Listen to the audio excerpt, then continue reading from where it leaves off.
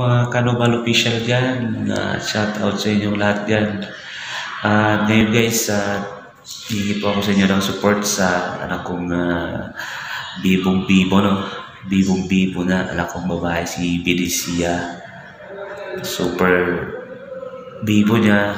Mahilig siya sa mga singing niya, dancing kahit maliit pa lang. Uh, nag-umpisa po siya magsayaw guys at ano, uh, one year and 10 months. Ito po yung sayaw niya. Ipapakita ko po sa inyo guys. Sana masuportahan niyo po guys.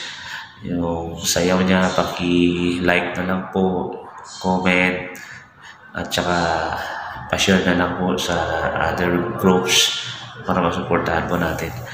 Kaya super bibo niya guys. Milig sumayaw. Kaya sana masuportahan niyo rin ako guys na dumami yung uh, mga followers niya. Kasi gusto gusto niya sumayaw kaya suportahan ko na lang yung pagkabibo niya pagkahilig niya sumayaw.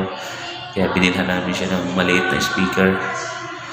Kaya sobrang tuwa guys na may anak ka na ganyan. Pagdating mo galing ka sa trabaho sobrang pagod mo sobrang pagod mo. Nakita mo yung bibong-bibo sumasayaw.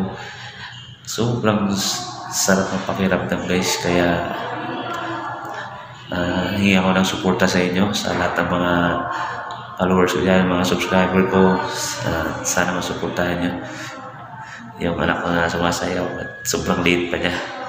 Ayan guys. Puntahan natin guys. Tara na. Bye. A few moments later